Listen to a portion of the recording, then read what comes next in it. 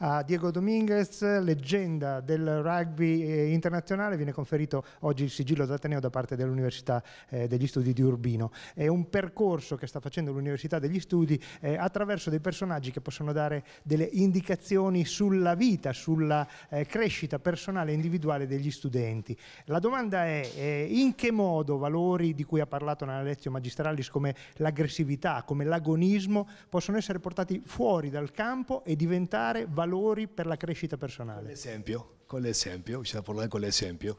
Eh, il rugby, l'ho detto oggi, il rugby senza aggressività non puoi giocare. È uno sport che non puoi giocare, però deve avere equilibrio.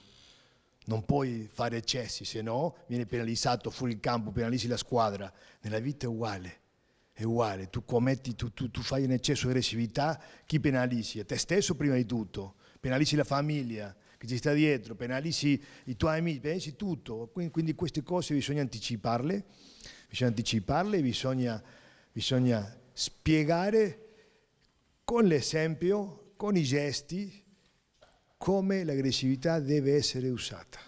Abbiamo organizzato questa, questo sigillo dell'Ateneo con l'Università d'Urbino come un momento di eh, riconoscimento ad uno dei più prestigiosi e importanti giocatori di rugby italiani, Diego Dominguez, eh, che ha anche origini marchigiane ed è una, uno, sportivo di alto livello vicino al nostro club.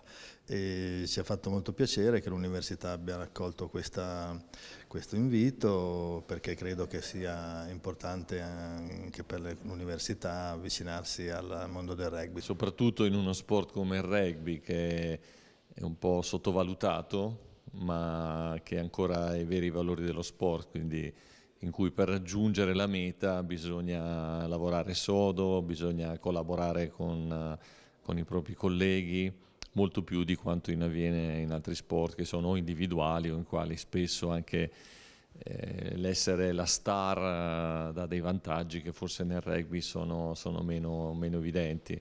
E quindi ci fa molto piacere che sia, sia venuto a trovarci proprio perché il messaggio che che viene dato è un messaggio di valori positivi. Veramente bello, io ci tengo tantissimo a questa, questa terra, a questa regione, sono venuto tantissime volte, io sono originario di Matelica, la mia famiglia è di là, la mia famiglia materna, e niente, sono tornato tante volte, ogni volta che posso torno, Urbino è la prima volta, essere in un'università così prestigiosa, una delle più antiche d'Italia, per me è enorme, è veramente...